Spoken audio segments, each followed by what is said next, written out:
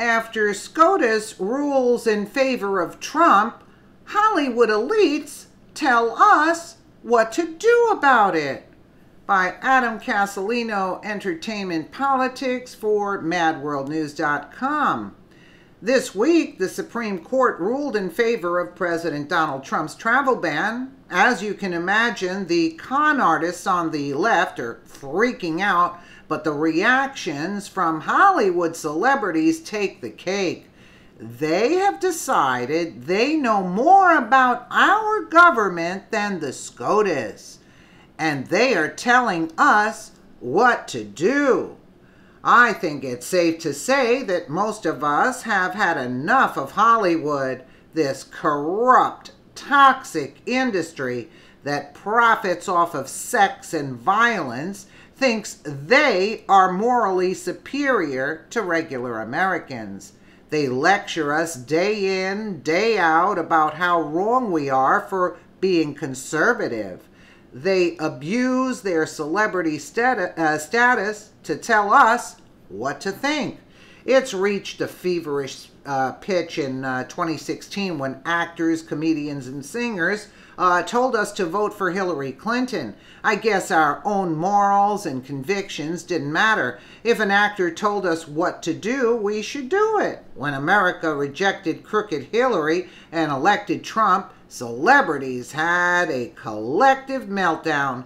They have never forgiven us for picking Trump and regularly use their fading platforms to scold us. Does it surprise you that their grandstanding comes while major entertainment industries are failing? Aside from big action movies, theaters are in rapid decline. And I would say action movies for the kids. That that's the only movies that that are going to fly today because the parents uh, you know have uh, want somewhere to take the kids and the kids hear about it but uh, any other movie, it's going to tank and tank big time like they're doing. Uh, TV ratings are in the toilet, absolutely, because there's garbage to watch. Uh, sports co- uh, coverage is taking a hit because they don't respect the flag. And the once beloved late night shows are cesspools of hatred in politics. So conservatives aren't watching them. How they're still on air is beyond me celebrities haven't learned we're not interested in their opinions. Hollywood is a den of hypocrites and villains. They attack us for supporting the commander in chief. Meanwhile, on a daily basis, more in their industry are exposed for the shocking sexual abuse. Perhaps Hollywood should focus on the log in its own eye before they try to remove our speck they still haven't learned in the wake of the Supreme Court's constitutional ruling on Trump's travel ban. The celebrities have come out in full force. They took to Twitter, obviously, to complain about the ruling. All of a sudden, they don't like the third branch of our government and its lawful authority to weigh in on important matters. They didn't seem to mind when the SCOTUS legalized gay marriage. Now, Hollywood elites are once again telling us what to do. And now that the justice stepped down and Trump is appointing another conservative justice, they are really freaking out, believe you me. Hollywood stars took to Twitter on Tuesday to express their collective disgust at the Supreme Court's ruling. They had no problem with Obama, though. Mind you, it's the same the same uh, travel ban that Obama had in place. But because it's conservative, Trump and his supporters, that's why they're so opposed to it. Uh, ruling declared the constitutionality of uh, President Trump's order restricting travel from eight foreign countries. The constitutionality of President Trump's orders uh, uh, illegals and immigrants don't fall under the constitutionality of this of the United uh, the United States. I mean, give me a break. Looks like the U.S., as we know, it is over. Actress Bette, Mid- Bette Midler warned, uh, while other celebrities like director Rob Reiner, uh, Family Guy creator Seth MacFarlane, and actress Debra Messing urged their followers to respond to the SCOTUS decision by voting Trump and Republicans out of office. It's going to be a red wave, uh, idiot uh, Holly Weird. The protesting of the SCOTUS decision is admirable, MacFarlane argued. I only wish the same passion was evident at the polls uh, last November when we were electing the president. Yeah. they must think we're idiots. Who, and aren't they ashamed of themselves? Aren't they ashamed of themselves sticking up for that old hag Hillary Clinton, who, with all her corruption, she's she's falling apart. They need they need tape to hold that witch together. She's melting. Uh, President Trump, who would appoint our next uh, justice, Merrick Garland debacle notwithstanding, let us hope the turnout is better this fall. Source Breitbart. Oh, it's going to be better this fall. I can guarantee you that, Holly Weird. It's funny how people uh, who got rich exploiting sex, violence, and vulgarity are now experts on the constitutional law and, ju- and, and justice Apparently, the U.S. is over, according to a professional singer and actress. I guess Bette wants more terrorists to enter the country. That would make us truly American.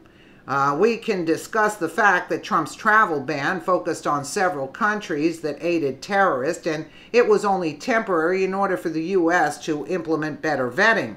Or that the executive order didn't mention Islam once. That doesn't matter. Liberal celebrities don't care about facts or logic. They, like the rest of the left, are pushing a toxic narrative to undermine the president, and they think you are too stupid to realize that. Yeah, because they shouldn't be showing their face. I mean, aren't they embarrassed speaking kindly of Hillary Clinton? They they should they should they should hide from embarrassment just the fact alone that un, unbathed witch to be president of the United States that's tripping all over herself and everything.